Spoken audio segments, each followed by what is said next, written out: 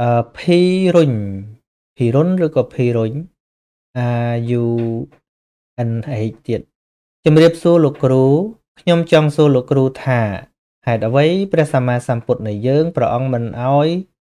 ធ្វើកុសល ប្រាថ្នាកើតឋានសួគ៌បើព្រះអង្គ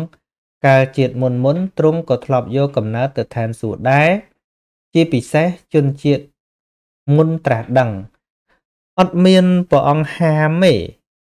ព្រះអង្គមានហាមទេគ្រាន់តែព្រះអង្គប្រាប់ព្រះអង្គប្រាប់ថាអឺលក្ខណៈដែលធ្វើកុសលឲ្យប្រាថ្នាកើតឯណែប្រាថ្នាកើតឯណោអឺកើតជាអ្នកមានហ្នឹងណាព្រះអង្គថាកុសលហ្នឹងដដែលដដែលតថាគតមិនសរសើរទេអត់មានកន្លែងណាព្រះអង្គហាមទេអត់មានហាមទេគ្រាន់តែព្រះអង្គថាព្រះអង្គមិនសរសើរព្រោះអីពីព្រោះកុសលហ្នឹងហៅថាវត្តដាក់គិមិនីកុសល ជាកុសលដែលធ្វើឲ្យវិលក្នុងវត្តដាក់នឹងរហូតចឹងហើយកុសលដែលព្រះអង្គសរសើរគឺកុសលដែលប្រព្រឹត្តទៅដើម្បីចិញ្ចាក់ពីវត្តដាក់ហៅថាវិវត្តដាក់គិមិនីកុសលកុសលដែលមិនប្រព្រឹត្តទៅក្នុងវត្តដាក់នឹងបំពេញរាល់កុសលទាំងអស់ហ្នឹងព្រោះតែឃើញលំអកុសលឬក៏ឃើញទោសនៃអកុសល ប៉ុន្តែកុសលវាឲ្យផលវាចេះឲ្យផលខ្លួនវាហើយ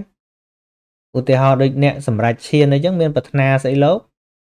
លះអាប្រាថ្នាហ្នឹងទៅប៉ុន្តែកុសលហ្នឹងកាន់តែមិនប្រាថ្នាកាន់តែសុក្រិតកាន់តែល្អគឺទោះព្រោះតួប្រាថ្នាមិនកុសលណាតួប្រាថ្នាតួលោភៈហ្នឹងហើយ